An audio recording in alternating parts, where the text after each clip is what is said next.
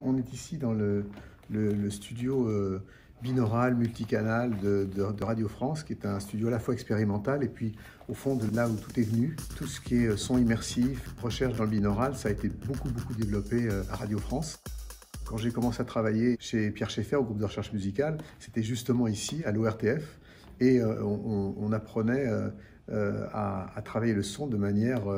euh, justement avec, euh, de manière multicanale, c'est-à-dire avec, euh, toute une série de haut-parleurs mono autour de nous, et pas du tout en stéréo. Et, en fait, c'est finalement le, fait de travailler ici, pour moi, c'est un peu de revenir aux sources.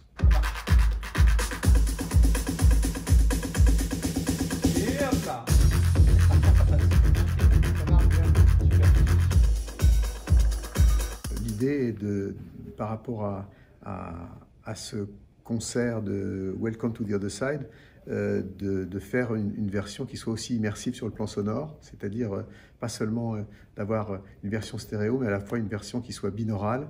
et 5.1 multicanal, suivant la manière dont on va l'écouter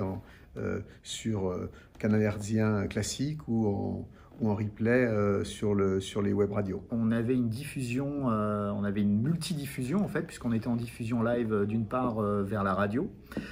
nous étions également en diffusion euh, en live vers, euh, vers la télé, vers tout l'aspect digital, réseaux sociaux, Facebook, YouTube, tout ce qui touchait les plateformes digitales. Et enfin, en dernier, la, plateforme VRChat pour avoir une immersion totale en effet, en, effet 3D. L'idée de, Jean-Michel était de travailler sur la spatialisation de ce live, de ce concert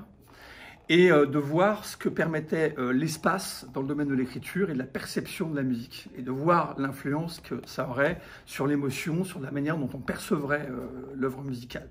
Donc on travaille là depuis, depuis deux jours avec Jean-Michel sur ce mixage, à positionner les sons dans l'espace, à trouver des équilibres, créer des mouvements, pour appuyer notamment notre travail, et surtout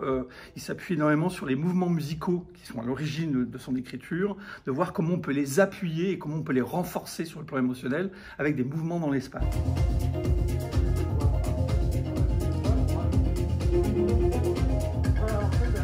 Le travail est d'aider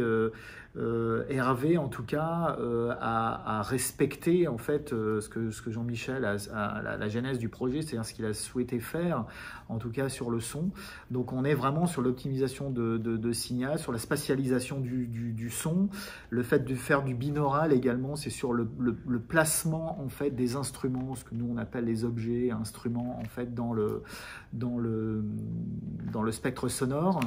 et en fait le, le respect euh, des balances qui ont pu être effectuées lors du mix par Jean-Michel.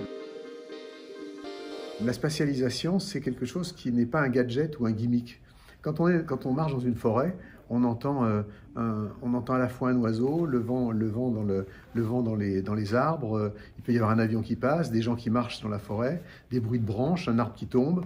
tous, ces, tous ces éléments sont des éléments qui sont mono, mais qui, à cause de l'espace qui nous entoure et de nos deux oreilles, deviennent pas seulement stéréo, mais prennent une place dans l'espace. Et jusqu'à maintenant, la stéréo, qui est la, manière qu'on a d'écouter de la musique euh, traditionnelle, est en fait euh, quelque chose qui n'existe pas dans, la nature. Et en fait, finalement, travailler en multicanal de cette manière-là, faire, bouger les sons, c'est finalement revenir à une écoute naturelle.